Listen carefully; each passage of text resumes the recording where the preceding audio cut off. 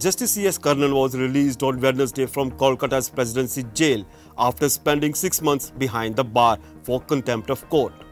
He is the first sitting High Court judge to have been sentenced to jail.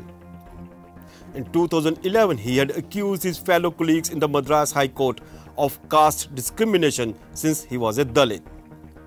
In January 2014, Karnan crashed into another courtroom where a two-judge bench was hearing a appeal on selection of judges. He had accused the judiciary over unfair and biased appointment of judges. The Madras High Court had then approached the Supreme Court against him and he was subsequently transferred to Calcutta High Court. An enraged Karnan then put a stay order on his own transfer order and demanded a response from the Chief Justice of India. Soon after the demonetization on January 2017, Justice Karnan wrote an open letter to the Prime Minister listing 20 sitting and retired Supreme Court and High Court judges, accusing them of indulging in corruption. The then Chief Justice of India, Justice Khehar, and six other judges filed a suo motu contempt case against Karnan.